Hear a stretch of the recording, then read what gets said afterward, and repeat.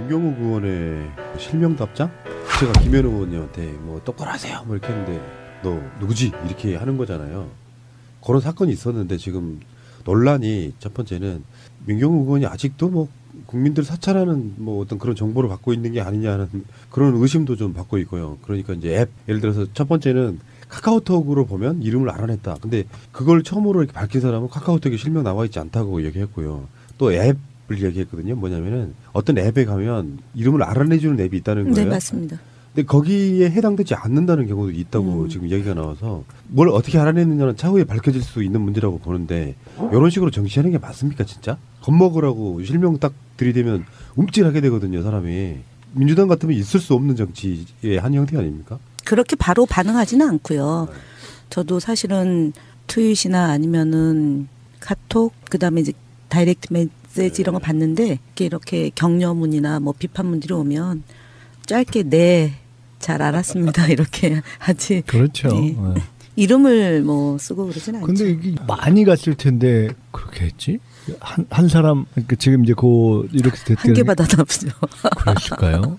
그러니까 민경욱 의원이 이제 여러 가지 그 과거사가 있는데요. 트위터 처음 시작했을 때 제가 깜짝 놀랐던 게 가장 경악했던 게 민경욱이었었거든요.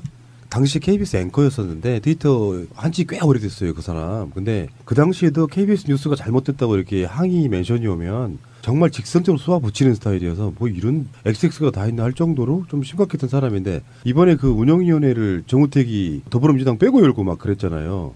근데 그 자리에서 민경욱이 굉장히 심각할 정도로 소리 질러대고 반말해대고 막 그 상황이 벌어졌고 그 상황 때문에 이제 분노하신 시민들이 항의 문자 보낸 거를 이렇게 답한단 말이에요. 그냥 네. 막장 드라마를 보는 것 같은 느낌이거든요. 근데 참 민경우 의원 사실 조금 의외인 경우에 하나예요. 삼방 멤버잖아요. 그 삼성동 제가 의외, 친박. 의외 의 경우라고 하는 거는 우리 김현 대변인님 아시겠지만은 옛날에 이 우리 야당 시절 야당 출입을 했었잖아요. 네 마술 여기가. 같은 걸로 해가지고 사람들 아니 그 현혹시키고. 맛을 얘기하는 건데 그때는 그렇게 좀 활동적이라든가 이렇게 사람 어떤 인상적이라든가 사실 별로 그렇게 저는 기억이 그렇게 기억하지 않고 있거든요. 우리가 다 아는 그리고 무슨 저 식사 같은 거 하면은 마술하고 막 이랬죠. 그 좀 특이하다 이렇게 했는데 저는 국회의원 된 다음에 모습을 보고 야 저 굉장히 저런 특이하네 이- 이렇게 생각. 그거를 우리가 몰랐던 거죠. 그분이 갖고 있는. 어, 난 그래서 행태를. 굉장히 의외로 생각하는 의원 중에 하나예요. 이명박 때 뉴스가 거의 땡이 뉴스라고 할 정도로 KBS 뉴스가 심각했는데 사실 사회적으로 매장돼야 될 사람이 국회의원이 딱 되는 순간 이건 뭐 물론 방송인들 뭐 언론인들이 정치권에 들어오는 건 뭐 당연히 그럴 수 있다고 보는데 아주 일관된 행태를 보이고 있는 모습이에요. 이분 로얄 패밀리예요 K 안에서. 네. 아, 그래요? 네. 그러니까 전혀 다른 얘기인데 네. 제가 어저께 박근혜 정부에서 산하 기관장을 하던 전직 의원 한 분에 관한 얘기를 저녁 자리에서 우리가 나눈 적이 있어요. 근데 그분이 과거에는 그러니까 우리가 김대중 대통령 시절에 그 당시 새천년 민주당으로 초선을 했다가 그 뒤에 이제 입장을 바꿔서 저쪽 박근혜 쪽에 가서 그쪽에서 산하 기관장을 하는 분인데 무슨 얘기를 했냐면 그분도 옛날 과거 어떤 방송이나 이런 데서 조금 알려져 있던 분이에요. 근데 이, 이런저런 토론을 하다가 뭐 어떤 얘기를 했냐면 이게 확실히 정당 정치가 중요하다. 그러니까 정당 정치에서 바닥에서 성장하는 것이 굉장히 중요하다. 그러니까 잘 아시겠지만 흔히 이제 사람들이 일반의 인식 가운데 야 도대체 정당의 당직자가 뭐야 이렇게 하는 경우가 있지만은 당직에서 이렇게 성장한 분들 가운데 기초단체장이나 구청장 이런 거 하는 분들 중에 굉장히 잘하는 분들이 많아요. 성과를 내는 분들이. 사실 우리 저 우리 김현 대변인께서도 본인이 늘 주장하고 자랑하듯이 아주 탄탄하게 이렇게 당직을 쭉 밟아온 분이거든요. 근데 유명세 하나로 그야말로 정치권에 영입되거나 이렇게 해서 시작된 경우에 그러니까 그 사람의 진정한 정체성 이런 것들을 확인하지 않고 그냥 이름을 갖고 하는 경우가 많아서 그 나중에 보면 야 이게 좀 문제가 있구나 하는 경우가 있는데 제가 어, 좀 다른 주제지만은 그래서 정말 저는 그렇게 갑자기 이렇게 벼락 진입하는 그런 방식보다는 이 정말 어떤 당원 또는 뭐 대의원 이런 걸 통해서 또 청년 당원 이런 걸 통해서 성장하는 그런 정치가 정착되는 게 좋다는 생각 들고요. 그러니까 지금 말씀하신 것처럼 민경욱 의원 같은 경우에 그렇게 기자 생활하고 당에서 볼 때 보면서도 몰랐으니까 우리는 근데 보면 전 조금 의원들이 각자의 입장에 따라서 여야가 갈라질 수 있는데 좀 심한 경우라고 생각이 들어요. 네. 네. 언론인 정도 되면은 몸에 배어 있을 만한 어떤 그 균형 감각 같은 게 있을 수 있거든요. 이 사람은 그게 너무 지나치게 치우쳐서 예를 들어서 검사 출신이라고 하면 좀 성향상 그래도 조금 어느 정도 이렇게 일말의 이해심이 좀 생길 텐데 이 사람은 좀그 뭐랄까 그 미친 게 더사견 이런 느낌이에요. 음, 심한- 바라보는 시각이. 심한 경우들이 몇 명 있어요. 근데 이것도 불법성이 있는지 한번 봐야겠어요. 저번에 주강덕 의원도 지금 그 자리를 어떻게 냈느냐가 천미의 관심사인데 비상식적인 어떤 상황들이 되게 많이 일어났거든요. 이 민경욱 같은 경우도 실제로 이런 경우에 그 사람의 실제 실명을 어떻게 알아냈느냐는 부분 같은 것도 좀 논란이 될 수도 있을 것 같은 생각이 듭니다. 그러니까 해명이 다 맞아 떨어지진 않아요. 자, 지금 국회 이야기를 좀 해보겠는데요. 지금 추경이 계속 연기가 되고 있는 상태예요. 박근혜 정부 때 추경 같은 경우는 이명박 때도 그렇고 아무리 못해도 일주일 내에 다 처리가 됐다고 하는데 촛불로 탄핵돼서 대통령이 됐고 그분이 처음으로 추경을 요청을 했는데도 불구하고 정말 석연치 않은 이유죠. 사실 국가 재난이 아니라는 거잖아요. 일단은 반대하고 있는 상태인데 더불어민주당에서는 정말 답답할 것 같고 청와대의 문재인 대통령도 한없이 답답할 것 같은데 이렇게 발목 잡기가 계속 되고 있는 상황 아니겠습니까? 두 분이 뾰족한 대안을 좀 내놓아 보세요. 어떻게 해야 됩니까? 답이 없으시네 두 분 다. 답이 없지. 이런 상태죠 지금. 예. 음. 근데 뭐 사실 이게 가장 큰 문제는 그 반대할 수 있죠. 뭐 그러니까 합당하다면 그리고 또 합당하다는 것에 대한 판단이 서로 다를 수도 있는데 아예 논의 자체를 안 하고 테이블 네. 자체에 앉지 않는다는 거에 지금 결정적인 차이가 있는 거예요. 이게 지금 사실은 협치 뭐 이런 얘기하지만 여기 지금 자유한국당은 아예 하- 하나도 이렇게 그 이번 저 대선 이후 국회가 열린 후, 이후에 정상적인 절차에 하나도 지금 응한 게 없다고 봐야 되잖아요. 네. 정상적인 논의를 하거나 정상적인 어떤 테이블에 같이 앉거나 그러니까 이게 정말 비정상적인 상태. 그래서 제가 저번에도 말씀드렸지만 저렇게 하면 역사의 유물이 되는 거예요. 박근혜하고 지금 문재인 대통령하고 비교할 만한 딱 사안이 하나 있는데요. 박근혜 때 2월 25일 날인가 취임시켰을 거예요. 그리고 두 달이 못 돼서 4월 18일 날 첫 추경안이 국회에 접수됐는데요. 5월 7일 날, 그러니까 19일 만에 통과시킨 전례도 있고요. 이, 이런 경우가 지금까지 굉장히 많았습니다. 최소한 다른 건 몰라도 이명박이든 박근혜든 취임한 지 얼마 안 됐을 때는 거국격 차원에서 이렇게 통과시켜주는 그런 것들이 있었단 말이에요. 이게 일종의 이것도 관례 같은 거 아니에요? 대통령의 첫 추경 같은 경우는 이렇게 협조 차원에서 해주는 거? 꼭 첫 추경이 아니라 첫 네. 그러니까 추경 자체는 사실은 지금 통과가 안 되거나 한 경우가 없거나 드물고 아마 네. 제가 기록을 봐야 되는데 그다음에 지금 그것이 심사되거나 지연된 기간 자체가 그렇게 길지 않았다는 거죠. 근데 네. 지금 아까 말씀드린 대로 이게 아예 착수 자체를 못 하고 있으니까요. 하나도 안 하겠다는 거죠, 뭐. 이래서 그러니까- 대선 불복 논란 나오는 뭐 거고. 그런 거죠. 그러니까 아 무것도 안 하겠다는 네. 거죠. 왜냐하면 그 바, 사실 이번에 우원식 대표가 그 울컥하는 바람에 그게 화제가 되긴 했는데 그게 제가 저는 그 배경이 조금 짐작이 가는 대목 짚히는 게 있어요. 왜냐면 그 바로 전날 저녁을 같이 했거든요. 우원식 대표하고 아. 몇 사람이. 근데 그 다음 날 다 되는 걸로 알고 있었어요. 그러니까 그랬어요? 어. 그러면서 우원식 대표가 야 내가 협상을 정말 많이 해봤는데 비교적 야, 이게 진짜 어렵다 이번에 보니까 그러더라고요. 그런데 거기 모였던 음, 사람들 그러니까 몇이 아이가 각각이 이런저런 노력을 해서 다 되는 걸로 그 전날 분위기가 잡혀서 아유 이제 이제 한국이 넘어가나 보다 이렇게 판단을 한 상태에서 그 다음 날 이게 이제 판이 깨진 거예요. 그 이게 참 어려운 거죠. 우리가 다 알고 있었던 거긴 한데 이게 현재의 여서야대 구조 하에서 이게 한쪽이 완전히 이렇게 그냥 막가파로 가버리면 과거에 사당 구조였을 때 걱정을 했는데 오히려 그 법안 통과율이 제일 높았던 시절이 있었어요. 그게 그게 언제죠? 평민당 시절 그 사당 그 일로 삼김 노태우의 사- 사당 구조가 있었잖아요. 88년도요, 예, 13대. 그때가 이제 이른바 김원기, 김윤한 뭐 이런 분들이 원내대표하고 이렇게 사당끼리 막 옥신각신 하는데 실제로 그것이 절충이 되면서 비교적 정치력이 발휘됐던 시절이 있는데 그때 야당이 아니죠. 그때 야당이잖아요. 저희가. 네, 네. 그런데 지금은 한쪽이 아예 그냥 아무것도 안 하려고 딱 작심을 해버리니까 이게 참 난감한 거죠 지금. 지금 그들의 전직이라고 해도 뭐 박근혜가 보통의 전직들처럼 전지하는 것도 아니고 코어가 없는 상태에서 정우택 중심으로 이런 분위기가 나온다고 봐요. 오죽하면 진짜 이렇게 요새는 거리에 나가보면 사람들이 야 이러면 차라리 저런 식이면 국회의원 선거를 지금 다시 하는 게 나은 거 네. 아니야 이런 얘기들을 많이 하잖아요. 전혀 민심 내지는 민의에 원하는 바와 상관없이 그냥 막 개겨버리는 거니까. 이렇게 되면은 이게 정말 국민들 들고 일어날 수밖에 없잖아요. 예를 들어서 자유한국당이 요구하는 게 너무 과도하고 처음부터 그냥 발목 잡기 하겠다고 나온 거 아니에요. 이낙연 총리 인전 때부터 이 정도 되면은 국민들 입장에서는 정말 자유한국당 해체하라고 지금 나오고 있는 거 아닙니까?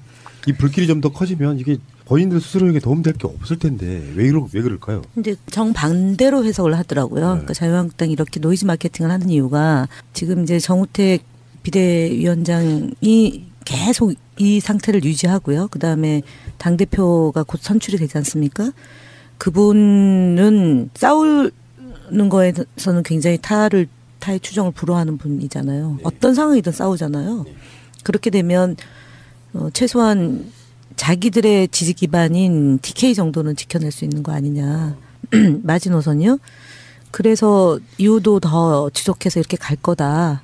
그러니까 정치권을 굉장히 이제 정말 싸움만 하고 지겨운 집단으로 이렇게 만들면 결국은 그로 인한 피해를 그러니까 문재인 정부와 더불어민주당이 볼 거니까 그냥 이 스탠스를 그대로 쭉쭉 가져갈 거다라는 아니, 게 같은 얘기죠. 그러니까 음. 자기들 나름대로는 그게 전략이라고 생각하고 그런데 그게 결국 역사적 유물이 될 거라는 게 결국 저게 이제 일반적인 합리적 수- 수준의 판단에서는 야왜 저러지 하는 것인데 저게 그냥 막 가다가 최악의 경우 1년 끌고 가다가 지방선거에서 하여간 각을 세워서 더 강경 야당의 입지를 가져서 쉽게 말해서 예를 들어 뭐 TK, 뭐 TK도 우리가 TK의 어떤 국민들을 다 떴고 그렇게 될 것이다 볼 수는 없기 때문에 그런데 상대적으로 자기들이 생각할 때 그런 데만이라도 건지고 끝내자 지금 이런 전략이 깔려 있다고 볼 수 있기 때문에 어떻게 보면 살겠다는 거고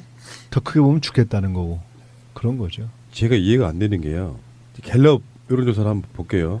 갤럽 여론조사에서 일단 대통령이 뭐 79%라고 해서 사람이 이게 눈높이라는 게 무서운 거예요. 79% 그러니까 지지율이 좀 적은 것 같지만 엄청난 지지율 아니겠습니까? 폭락했대잖아요. 4% 폭락. 근데 여기서 지금 말씀하신 게 중에 TK에서라도 몇 석 건지겠다 지방선거 이런 전략이라고 하면은 현재 지금 TK에서의 지지율이 76%예요. 대통령 지지율이. 심지어 민주당 정당 지지율도 30%입니다. 그러니까 이제 그 당시에 실제 투표에 가면은 그 이것과 또 조금 다를 수 그렇겠죠, 있겠죠. 당연히. 그러나 적어도 우리가 양식을 가진 어떤 판단, 사안 그 자체에 대한 판단으로는 국민 대부분이 이건 아니라고 보는 거죠. 일반적으로 우리가 일은 하게 해줘야 되는 거 아니냐. 그 다음에 초반에 그래도 어느 정도는 해주, 파- 좀 일을 할 수 있게 해야 되는 거 아니냐. 또는 야, 내각은 구성하게 해줘야 되는 거 아니냐. 그 다음에 아이, 첫 예산 짜는데 왜 난리냐. 예를 들어 이런 정서가 있잖아요. 일반적으로. 그 모든 것에 지금 맞지 않는 것이고, 그 다음에 야, 적어도 말은 해봐야 되는 거 아니냐. 지금 그 모든 것을 지금 어긋나고 있는 것이기 때문에 소위 TK의 민심이라고 할 때 그게 꼭 지역이 아니라 거기는 전통적으로 어떤 정부 여당이 그래도 국가를 운영은 해야 되는 거 아니냐라는 이른바 일반적인 여당의 사고 또는 여당의 심리 이런 것들이 또한 상당히 이제 익숙한 분들이 많은 지역 아닙니까? 그런 관점에서 볼 때도 허심탄회하게 본다면 좀 설득력이 굉장히 떨어지는 거죠. 우물 안에 개구리 있잖아요. 그 우물 안에 개구리가 되면 세상이 바뀌는 걸 모르고 이렇게 있는 건데 지금 저는 자유한국당이 세상이 바뀌고 있다라는 거를 아직 모르는 것 같아요. 특히 대한민국이 얼마나 국민들의 민도가 높아지고 세상을 보는 판단력이 집단 지성화되고 있는지에 대해서 모르는 것 같습니다. 그래서 결국은 이런 그 시간이 자꾸 지연되는 것이 국민에게 피해가 가니까 저희가 조속한 시일 내에 일을 처리해달라고 요구를 하는 건데 대선 불복이다 아니다 뭐 이런 논란이 있었고 또 대선 불복이라고 하니까 제가 TV에서 이렇게 화면을 보니까 정우택 대표가 뭐 약간 움찔하면서 뭐 자기 그런 생각을 해본 적도 없다 그러는데 사실은 대선 불복일이 아니냐를 떠나서 대선 패배라는 현재의 상황 그리고 또 우리가 왜 졌지 이런 전체에 대한 체감 지체 예. 예, 이런 현상이라고 봐야 되겠죠. 이게 사실 받아들여지지 않고 인식되지 않고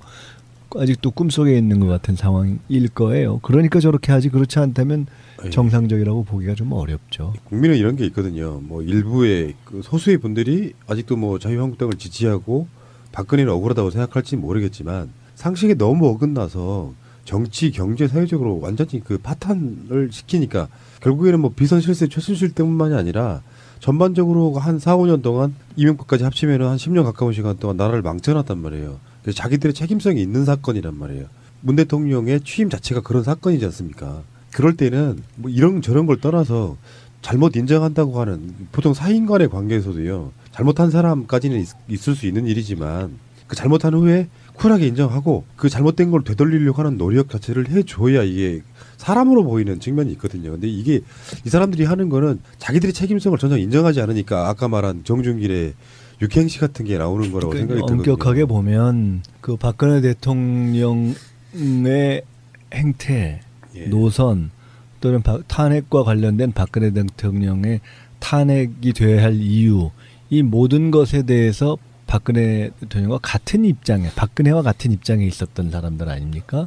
그렇다면 정치적 법적으로 박근혜가 탄핵된 순간 사실은 사실상 그 지체로서의 자유한국당은 이름만 바꿨을 뿐이지 탄핵된 거거든요. 저 정치 세력은 탄핵된 정치 세력인데 그렇다면 그것을 거듭나거나 반성하거나 뭐 이렇게 해야 되는데 그렇지 않고 이제 박근혜는 감옥에 들어가 있지만 자유한국당은 국회에 아직 남아 있으니까 생기는 예, 이게 맞습니다.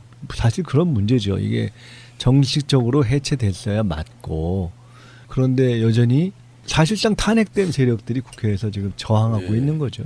그게 진정한 의미의 패적인 거잖아요. 네. 그 자유당이 공교롭게도 같은 이름이네요. 자유당이 이승만이 하야하고 나서 사실상 해체된 상황대였던 거잖아요.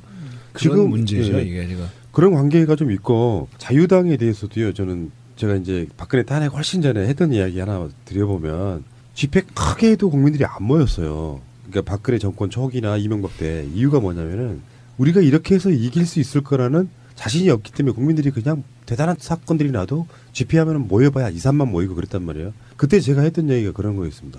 승리의 역사가 없으니까 최근 몇십 년 동안 국민들이 의지가 없었던 거거든요. 근데 지금 박근혜 탄핵이라고 하는 그 촛불은 뭐였냐면은 국민이 이긴 역사를 한번 써버린 거거든요. 그러니까 누가 그런 얘기 하더라고요. 박근혜 탄핵도 시켰는데 이런 역사적 환경이 변화가 됐다는 걸 모른다. 국민들이 화가 나면 니들 자유한국당 정도는 해체시키는 거 사실 일도 아닐 수 있는 어떤 국민들의 영향이 모아진 상태 아닙니까? 근데 그거를 인식을 못 하고 있는 거라고 생각이 들어요. 그러니까 이렇게 보시면 되죠. 4.19 이후에 세상이 바뀌었는데 그 이승만과 함께 사라진 자유당 그때 경우는 완전히 그런 경우인데 자유당이 여전히 권력을 누리고 있는 거예요. 의회 권력의 상당수를. 그러네. 4.19 이후에 자유당이 권력을 누리고 있는 요 상태, 불일치 상태여서 사실은 근본적으로 이 문제가 이게 그런 법적 어떤 시차적 불일치 상태에서 생기는 문제인데 이 문제 결국 우리의 정권 교체, 우리의 촛불 이건 어떻게 보면 완성되지 않은 거죠. 네. 예, 과정에 있는 거죠. 현재 아직 저- 진행형 ING 이렇게 되는 거죠. 있던 분이에요. 근데 이, 이런저런 토론을 하다가 뭐 어떤 얘기를 했냐면 이게 확실히 정당 정치가 중요하다. 그러니까 정당 정치에서 바닥에서 성장하는 것이 굉장히 중요하다. 그러니까 잘 아시겠지만 흔히 이제 사람들이 일반의 인식 가운데 야 도대체 정당의 당직자가 뭐야 이렇게 하는 경우가 있지만은 당직에서 이렇게 성장한 분들 가운데 기초단체장이나 구청장 이런 거 하는 분들 중에 굉장히 잘하는 분들이 많아요. 성과를 내는 분들이.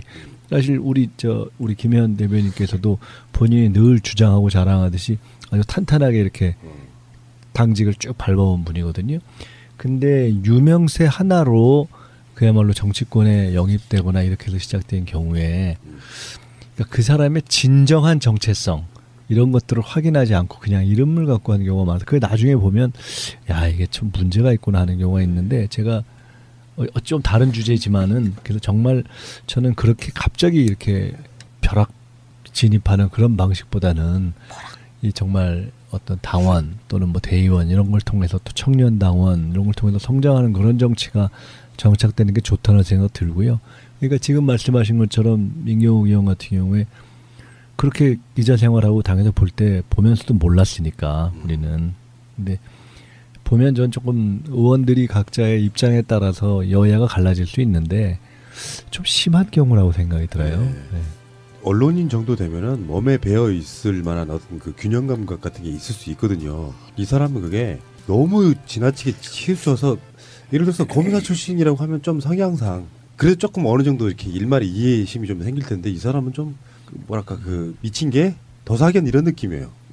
심한- 바라보는 시각이. 심한 경우들이 몇 명 있어요. 근데 이것도 불법성이 있는지 한번 봐야겠어요. 저번에 주강덕 의원도 지금 그 자리를 어떻게 냈느냐가 천미의 관심사인데 비상식적인 어떤 상황들이 되게 많이 일어났거든요.